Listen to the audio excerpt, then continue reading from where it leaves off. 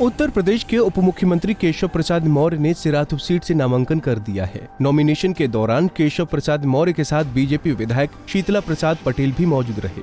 Nomination के बाद केशव प्रसाद मौर्य ने विक्ट्री साइन दिखाया। वहीं नामांकन दाखिल करने से पहले डेप्यूटी सीएम केशव प्रसाद मौर्य ने शीतला मंदिर में परिवार सहित दर्शन पूजन किया।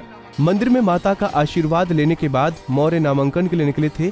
इस दौरान बीजेपी वर्करों में ज़बरदस्त उत्साह देखा गया। केशव प्रसाद मौर्य का बीजेपी वर्करों ने ढोल नगाड़े के साथ स्वागत किया। वहीं महिलाओं ने फूल की बरसात कर केशव प्रसाद मौर्य के प्रति समर्थन जताया। इस मौके पर केशव प्रसाद मौर्य ने सिराथू के साथ अपने पुराने संबंधों का ज़िक्र किया। उन्होंने कहा कि सिराथू उनकी जन्मभूमि के साथ कर्मभूमि भी रही है। मौर्य सिराथू में अपनी जीत को लेकर आश्वस्त नज़र आए। देखिए, पीछे पीछे थोड़ा हल्का सिराथू की कुल देवी। माँ शीतला के चरणों में प्रणाम करके पूजा अर्चना करके आज एक बार फिर से दस वर्षों के बाद सिराथू विधानसभा क्षेत्र से मेरे पार्टी के नेतृत्व ने मेरे माननीय प्रधानमंत्री श्री नरेंद्र मोदी जी ने मेरे राष्ट्रीय अध्यक्ष माननीय जेपी नड्डा जी ने और संपूर्ण राष्ट्रीय और प्रदेश नेतृत्व ने मेरी जन्मभूमि को, मेरी कर्मभूमि बना करके मुझे सेवा करने का निर्देश दिया है और इसे मैं अपना सौभाग्य मानता हूँ। सिराथू विधानसभा क्षेत्र का प्रत्येक परिवार मेरे परिवार जैसा है। सिराथू विधानसभा क्षेत्र की सेवा करना यह मेरा सौभाग्य है। जब से अवसर मिला है प्रयास किया हूँ कि सिराथू क्षेत्र का सर्वांगीण विकास हो।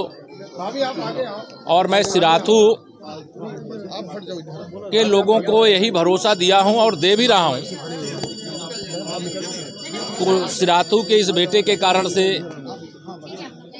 कभी भी सिराथू वासियों का शीश नहीं झुकेगा।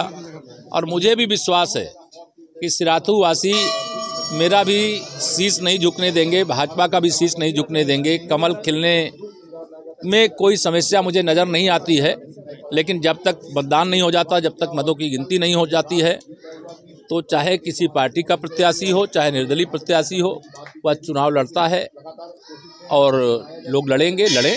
मेरा आज तो माँ के दरबार में यही चरणों में प्रार्थना है कि फिर एक बार 300 पार उत्तर प्रदेश में फिर से भाजपा सरकार लोगों के लिए सुशासन चाहिए, सुरक्षा चाहिए, विकास चाहिए। और भारतीय जनता पार्टी सुशासन की, विकास की और 24 करोड़ लोगों की सुरक्षा की गारंटी है। और समाजवादी पार्टी का गठबंधन हो, और चाहे अन्य जो राजनीतिक दल बने हैं अलग अलग लेकिन वह अलग अलग राजनीतिक दल। उत्तर प्रदेश की जनता के लिए न सुशासन दे सकते हैं, न विकास दे सकते हैं बल्कि उत्तर प्रदेश के 24 करोड़ लोगों के लिए खतरा बन सकते हैं। धन्यवाद। केशव प्रसाद मौर्य बीजेपी के सबसे बड़े पिछड़े नेता हैं। बीजेपी को उम्मीद है कि मौर्य सिराथू के सियासी संग्राम में जीत का परचम ज़रूर फहराएँगे।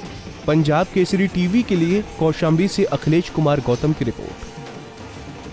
हमसे जुड़े रहने के लिए हमारे YouTube चैनल को सब्सक्राइब करें और नई वीडियो की नोटिफिकेशन के लिए बेल आइकॉन को दबाएँ।